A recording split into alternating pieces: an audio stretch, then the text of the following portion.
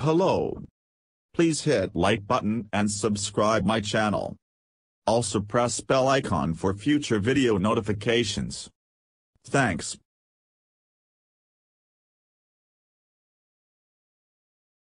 The Toyota Land Cruiser is an iconic nameplate, one that transcends global popularity. However, the US is missing out on its latest iteration, with Toyota North America removing the full-size SUV from the range last year for undisclosed reasons.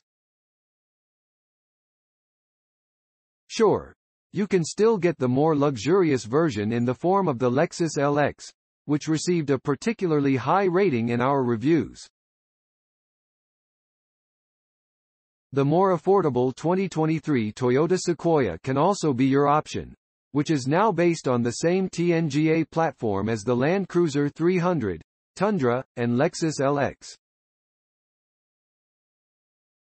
But if you want the full-blown Land Cruiser and all the heritage that comes with the nameplate, sadly, that isn't possible anymore. That could eventually change according to Jack Hollis, Executive Vice President of Sales for Toyota Motor North America. In an interview with Motor Trend, Hollis confirms that the company will likely bring the new Land Cruiser to the U.S., marking the return of the legendary SUV.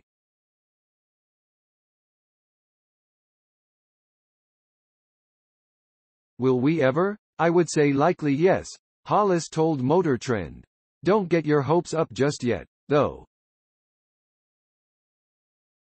Hollis did not confirm that this will happen in the foreseeable future, saying that it's still a ways off.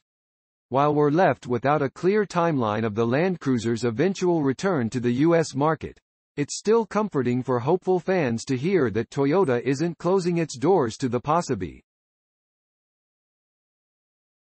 The Toyota Land Cruiser 300 has been enjoying global acclaim since its introduction last year.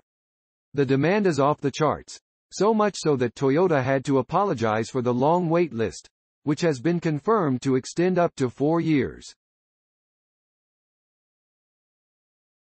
We'll see whether Toyota North America will eventually bring the J300 onto U.S. shores in a few years' time. For now, all we can do is wait with the rest of the world. Thanks for watching. Credits to www.motor1.com and Spide Build LLC. Please subscribe my channel for more auto updates.